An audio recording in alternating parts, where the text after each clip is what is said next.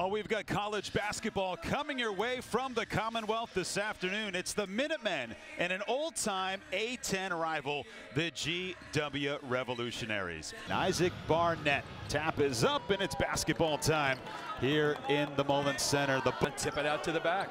Cohen coming off another 20-point performance. This time it's Keon Thompson, and he drills the triple to give UMass the early lead. 15 and 3 for GW. Here's Cohen trying to go to work, finds an open shooter. That's Diggins. He'll take another one, and Rahsool Diggins. Opportunity here for the Revolutionaries. Open shot in the corner for three. That's Garrett Johnson. Three for Bishop, no good. Long rebound, and that's Robert Davis Jr. with it. Up ahead to Thompson in transition. Sealed off for the moment, and a quick spin and finish for right. Keon Thompson. Green appropriately that there was space there to shoot, but probably ball movement would have been a better option. Bishop with the drive and ditch to Hutchinson, and three straight threes coming up on intentionally. Try to get Josh the right-hand driving lane. Diggins gets deep. Eight to shoot. Here's Curry on the go. Right down the middle. Curry with the scoop and score. Diggins with a little roll to Cohen, and he finishes. Oh boy, that's just how you practice it. Rahsool Diggins with a beautiful bounce pass. Rahsool Diggins on the go. Diggins in the lane. Diggins with a finish. You know, he knew he had the quickness advantage. Put those kind of guys. He plays bigger than six seven, though, doesn't yeah, he? Yeah, he sure does. How about the kick out from Curry? Thompson with the three doesn't go. That one was there. That three was there. And Thompson actively on defense. Great awareness. Up ahead to Curry, and the soft touch for Curry. 12 times Minutemen, only three at this point. Bishop trying to find something. Gets to Johnson. 10 on the shot clock here. Johnson swiped that. Out to Bishop. Nice ball fake.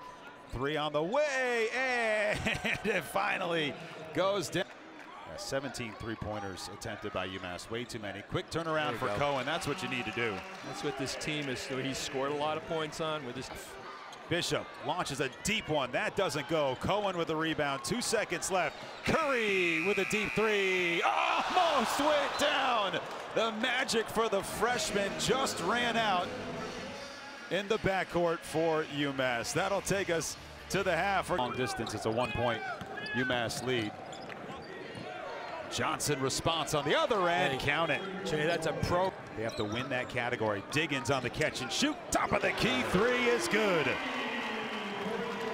So good to see him get in rhythm off a simple catch like that and not losing his confidence. Back rim, no. Hankins Sanford there with the board. Diggins will let it fly, and it's good. Rahsool Diggins. Lead. Another great close-up by Hankins Sanford. Thompson gets to the bucket and right around the big man. The largest lead of the day and growing. Right side, Thompson doesn't take it this time. Drives in the reverse layup for Keon Thompson. And now that court by the Minutemen. 15 nothing run. Hutchinson in the paint. That doesn't go. Cohen with a rebound again. Curry drives. Curry with the scoop shot, finger roll. And do you think about another timeout here for George Washington? Boy, three from Johnson settled things down a little bit, but Diggins showing off the creativity here. Diggins with a floater in the lane. He's matched his career high today. And See Josh Cohen saying, that's right, on your feet here at the Mullins Center.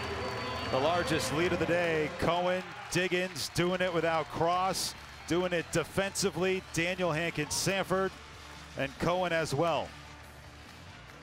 With the big block. It's 60-43.